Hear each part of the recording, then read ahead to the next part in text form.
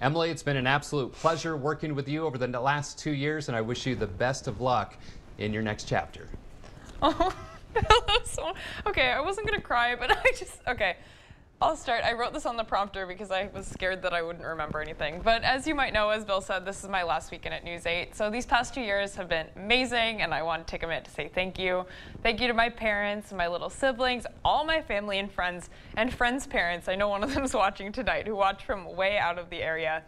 It's really been an honor to tell so many fun, inspiring, really difficult and powerful stories. And I want to thank all the incredible mentors, coworkers I've had during my time here. I've grown so much from every single one of them. I like can't stress it enough. I also want to shout out the crew behind the scenes. Newscasts aren't possible without everyone behind the camera, including directors, producers, production staff, and my fellow anchors and reporters who take the time to go through every single thing I write to make sure we're doing your stories justice.